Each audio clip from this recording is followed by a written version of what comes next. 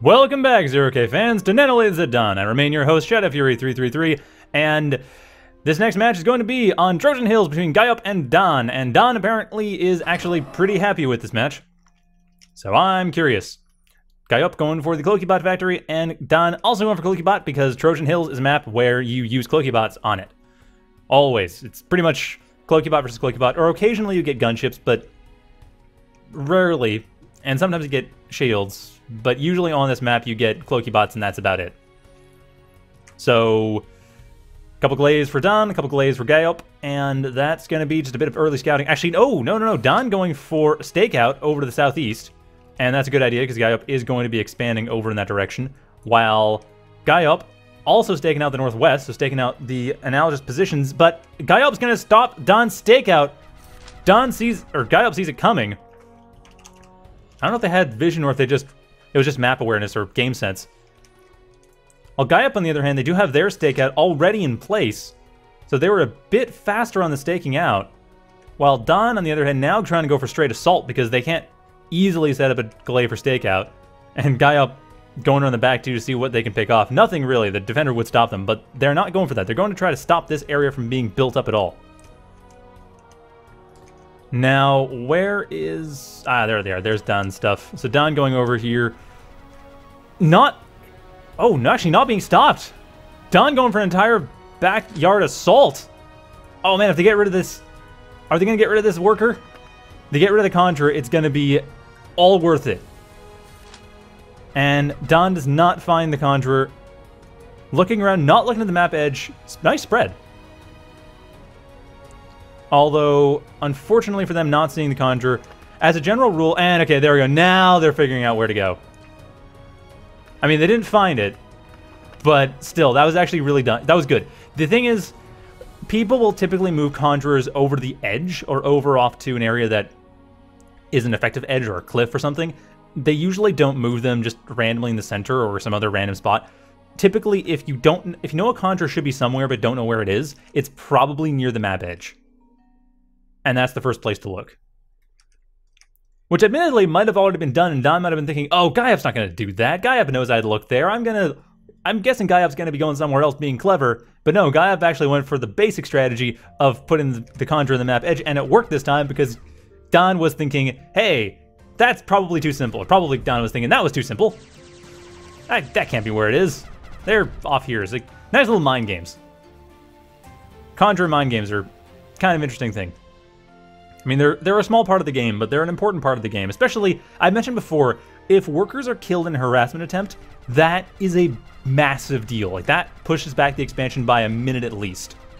Which, for a game where game lengths are typically in the 5 to 15 minute range, that's a lot of game time that's being wasted on nothing being built. So getting rid of workers is a massive blow. You always want to do that if you can. And in this case, of course, dahn, well, didn't manage to do that. Got deflected by gajop, but still managed to get some harassment in still, even with a commander over there. Wow, that is ballsy. Those glaives are some brave ones there. That I mean, that worked too, but wow, they could have easily been killed. If that commander had a riot gun or had, I guess, a machine gun either, or anything that increased range at all, like those glaives were so close to death. They just weren't quite close enough. And dahn deflecting gajop's assault fairly well. At this point, dahn actually, I think, is being really, well, not that ballsy. I mean, they have a warrior coming up front. They don't have anything defending, though, and they're basically relying on being in the right place at the right time with their defenses. Like, the warrior here, it's the only thing that's currently defending, or was defending, the north side. Now, at this point, nothing is. The commander was kind of defending one of the lanes that could come into it, but that's, that's no longer the case. There's a defender here, but at this point, that's basically just a sentry. That's not actually going to stop anything. Not enough. And other than that, there's not much. Whereas dahn, on the other hand, has to deal with a lot of defenses. gajop's building defenses everywhere. dahn only has a couple defend defenders. gajop has three Lotuses, three defenders all around the map. This is a much different situation, but that does mean dahn has a lot of room to build up and to expand. As much as Trojan Hills allows for that. Oh, and the commander getting surrounded. I think this is going to be death. If gajop doesn't move. Oh, yes, this is it. This is it. Nice. dahn killing the commander, Four glaives. New low record as far as I've seen. Best I've managed is six. Although that was actually with like four glaives alive at the end. But still, nicely done with four glaives. Good micro there. So gajop's commander's down. dahn's commander, on the other hand, is quite healthy and rather forward. And dahn's commander has actually been upgraded with a riot cannon and field radar, so they do know when stuff's coming. Actually, is that... That's not the only radar. There's another radar inside the base. gajop on the other hand, has got a radar in their main base, but that's about it. Didn't upgrade their commander as far as I could tell. So wow, I guess I was actually wrong about the glaives being close to death because that was the same number of glaives that attacked the mechs. Engineer commanders. I think they're tougher than recon comms, but I guess that didn't really matter in this case. And dahn just slowly pushing out. At this point, gajop getting choked out of the left side. The right side's still fairly open. It's been staked out, but it hasn't really been established at all. And gajop does have the center. But dahn's just coming in with the sneaky assault through this one hill over the eastern side.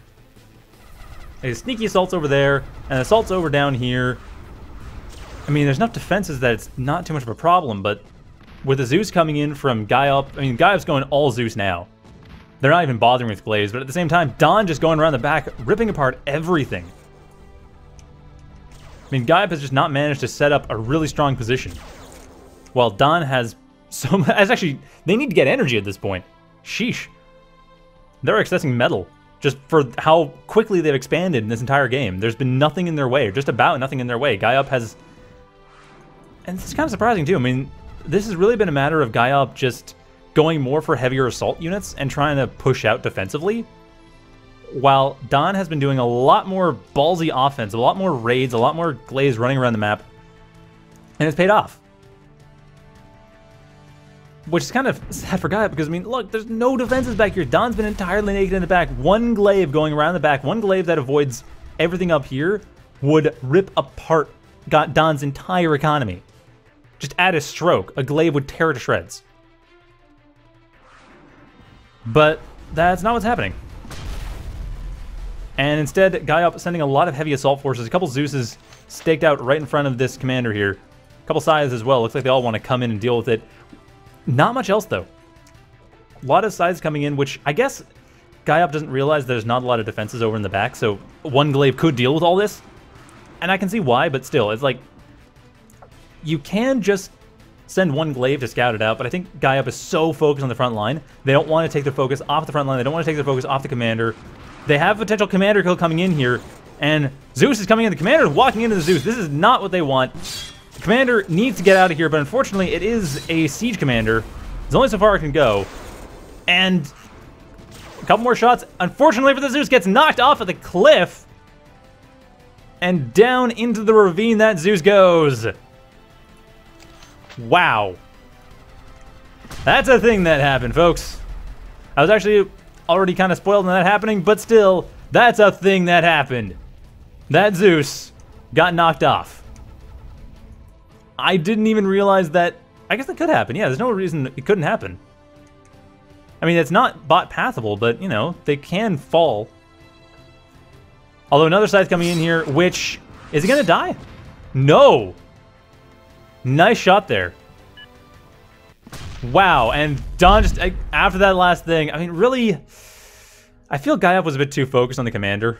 I mean, it was kind of amusing, really disheartening to have that Zeus get knocked off, but really, there's there's no reason not to scout. I, I often say scouting is a thing to do, and I know I don't always do it myself in my games, but it's a thing to do. It's always a good thing to do. Even when I don't do it, I regret not doing it. And it's always a good thing to do because you never know whether or not your opponent, unless you've checked, whether or not your opponent has defenses up or what defenses they have or how to get through. And at this point, it it really was the wrong choice to not go for the back. But gajop had no way of knowing that because they didn't they didn't see. They had no vision of that area. They didn't send a glaive back here to see what was going on, see if there's anything going on there that they could have dealt with. Anyway, so that was that. And the next match is going to be maybe gajop redeeming themselves, because that was dahn redeeming themselves, versus Aquanim on Kaleo. That'll be up in a couple minutes, so stay tuned.